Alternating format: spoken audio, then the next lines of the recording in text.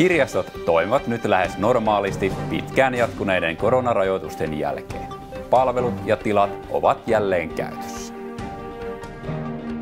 Kirjaston pitkäaikainen työntekijä ja Kaakkoisen alueen aluekirjaston johtaja Marjut Pohjalainen jää eläkkeelle.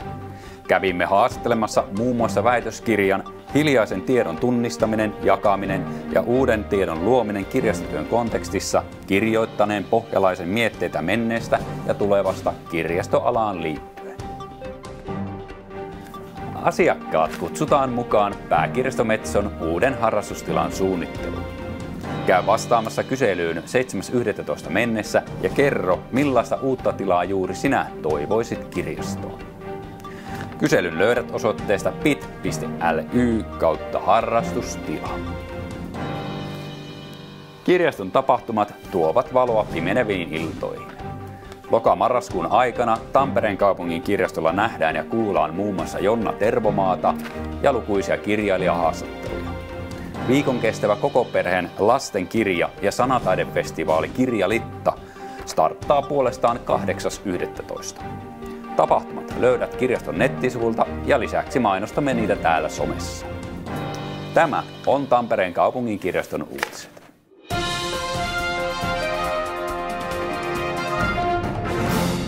Kirjaston pitkäaikainen työntekijä ja Kaakkoisen alueen aluekirjaston johtaja Marjut Pohjalainen jää eläkkeelle.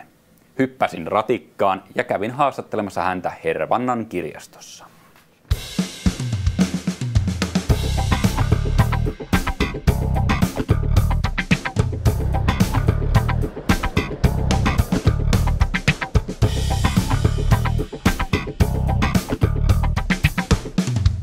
Meillä oli se haastattelu. Joo, meillä on se haastattelu ja siitä vaan. Kiitos. Aluekirjaston johtaja Marjut Pohjalainen. Olet tehnyt todella pitkän uran Tampereen kaupungin kirjastossa. Missä tehtävässä aloitit ja mitä kaikkea olet ehtinyt tehdä sen jälkeen? No täällä Tampereella niin olen aloittanut kesällä 80 ihan kesäsijaisena. Kir- olen ollut silloin jo valmis kirjastohoitaja, ottanut juuri paperitulos, niin ollut erilaisissa kirjastohoitaja, kirjastovirkailija ja niin edelleen tehtävissä. Kuinka kauan olet työskennellyt Kaakkoisen alueen aluekirjaston johtajana, eli Hervannan ja Kaukojärven? Joo, minut valittiin tähän tehtävään vuonna 2008, että tästä tulee 13 vuotta täyt- tai on tullut täyteen. Aivan. Miten työ kirjastossa on muuttunut näiden vuosien varrella? Ää, si- siitä kun aloitin Mm. Voit kertoa 80-luvulla, no sehän on muuttanut, tavallaan jotkut asiat ole muuttunut mihinkään, edelleen lainataan tota, aineistoja ja, ja erilaisia aineistoja, mutta tavat lainata on muuttunut tietysti dramaattisesti, että on tultu, menty, olen aloittanut kirjaston niin, että meillä on ollut kortistot. Ja tota, siinä vaiheessa tehtiin vasta pääkaup- äh, Helsinki, Helsingin pääskylainausjärjestelmän mukaista tota, tietokantaa tänne Tampereen kaupungin kirjastoon. Ja sitten me otettiin sen mukainen lainausten valvontajärjestelmä käyttöön. Ja sitten, eli lainaushommat on muuttunut täysin, samoin tiedonhaku. Eli ennenhän ihmisillä ei ollut mitään mahdollisuutta muuta kuin löytää tietoa kirjoista, manuaaleista ja niin edelleen. Ja nythän he voi, nykyisin tota, kaikki voi hakea suurimman osan tiedostaan itse tietokoneella. Tämä on se dramaattisin muutos. Kyllä, kyllä. Sen mä oon huomannut, että kaikki suurimmat muutokset, mitä kirjastossa tapahtuu, niin ne tulee aina ulkoa päin.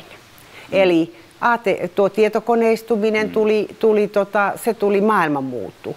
Sitten tuli sitten 90-luvun lama, se tuli taas ulkoa päin. Eli täytyy ruveta, sitä ennenhän oli tämmöinen jatkuvan kasvun ideologia. Aina vaan haluttiin lisää, lisää, lisää virkoja, li, lisää tiloja, lisää, lisää, lisää. Ja sen jälkeen pitä, piti ruveta miettimään, että tarvitaanko aina vaan lisää, että pitääkö tulla toimeen. Ja sekin tuli ulkoa. Nyt sitten taas nähtiin, eli ö, tuli, puh- puhutaan tästä digiloikasta, niin sehän tapahtui taas ulkoisista syistä. Eli meille tuli korona ja meidän piti oppia. Eli me ollaan itse kuitenkin aika huonoja niin kuin Me, me kyllä tätä arkea ehkä tehdään tämmöistä, arjessa tehdään semmoista pientä hiljasta muutosta, mutta mm. kyllä nämä isot muutokset, niin ne lähtee kyllä aina mun mielestä, niin kuin mm. tulee yhteiskunnasta muualta.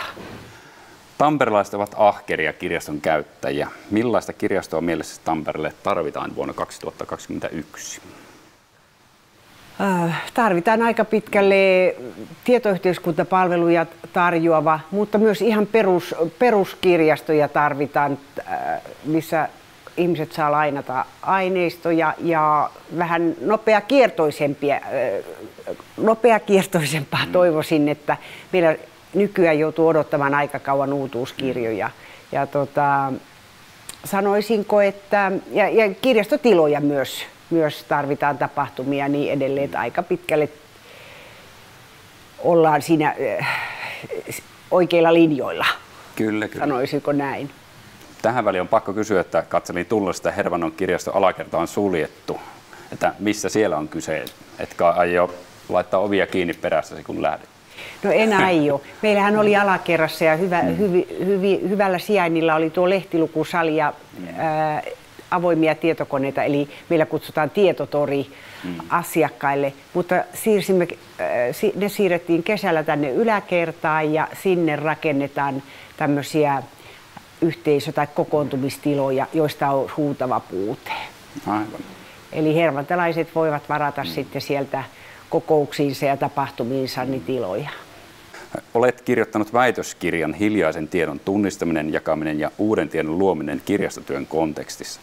Miten väitöskirjasi aiheet ovat toteutuneet ja toteutuvat mielestäsi Tampereen kaupungin kirjastossa? No, tavallaan mä tutkin tai kuvasin äh, tilannetta viisi vuotta sitten. Eli olin kiinnostunut, äh, vuosia olin kiinnostunut tämmöistä asiakaspalvelutapahtumasta, että mitä kirjastohoitaja tekee asiakkaan kanssa. Et meillähän oli noin tieteellisesti kerrottu, että se menee näin, että asiakas tekee kysymyksen, kirjastonhoitaja etsii tietokannasta näin ja antaa vastauksen. Ja näinhän se ei mene, vaan meillä on hyvin, hyvin tota, luova suhde asiakkaaseen, että me saatamme saada, kun asiakas kysyy jotain, niin virikkeitä siihen, että mitäköhän asiakas todella, tar- todella tarkoittaa, niin hyvin monista seikoista, vaikka asiakkaan vaatetuksesta. Eli siinä tapahtuu jotakin, jotakin, mitä ei ollut kuvattu mielestäni meidän alan kirjallisuudessa.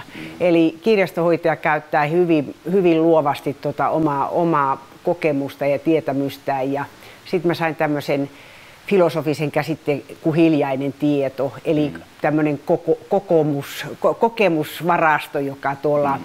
ihmisellä on, niin kirjastohoitaja pystyy sitä käyttä, käyttää Eli halusin kuvata tätä ja, ja mm. tota, sehän on totta edelleen. Mm. Mutta sitten toinen asia, mistä halusin myös tässä hiljaisen tiedon yhteydessä äh,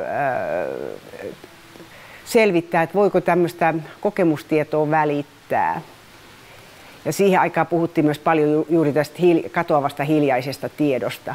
Ja sanoisinko, että hiljainen tieto välittyy yhdessä työskentelemällä. Ja nyt vielä puolitoista mm. vuotta ollaan oltu korona, koronakourissa, että ei ole paljon työskennelty yhdessä. Ja kokoustila, äh, kokoustilanteetkin on ollut tuolla tuolla, tuolla, net, äh, tuolla Teamsissa, eli meillä ei ole ollut sellaista fyysistä vuorovaikutusta, jota pidetään esimerkiksi hiljaisen tiedon välittymisen semmoisen innovatiivisemman ajattelun ja keskustelun niin kuin perusteena, että, että se, siihen tarvittaisiin se inhimillinen vuorovaikutus. No, onpa hyvin sanotettu, koska tota, itse olen miettinyt sitä, että miten nämä Teams-palaverit, niin että niistä jää aina uupumaan jotain, että, ne ei, että se kaikki, se mitä sanotaan kasvatusten toisille, niin se ei vain välity sen Joo, kautta. ei välitykään.